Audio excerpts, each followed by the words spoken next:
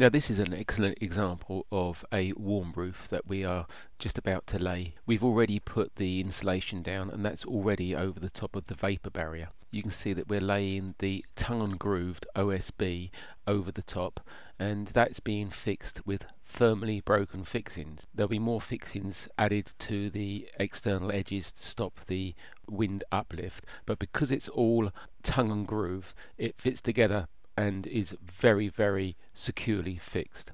Because this is going to be a liquid system, all joints that are uh, in between the boards all have to be sealed and you can see here they're all sealed and they're all reinforced so that if there is any movement in the roof there is a double reinforced joint at that particular point.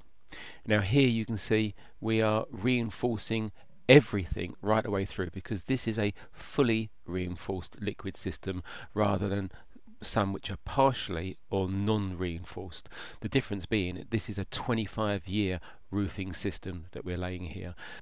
So once we've laid the reinforcing fleece completely over the whole area, we then have to flood the area with the top coat. This is so that we've got complete saturation right the way through all joints of the fleece have been overlapped and all edges have been overlapped onto the adjoining roof. Now the advantage of this particular system is called a wet and wet system. It's laid all in one go. The first coat, the fleece, and the second coat all in one go. That means that the weather, if it was to change, doesn't get in between different layers, and we, we you could get lamination. This is seen sometimes with glass fibre roofs. Of course, the other thing is with this particular product that I'm using here is that it's fully flexible.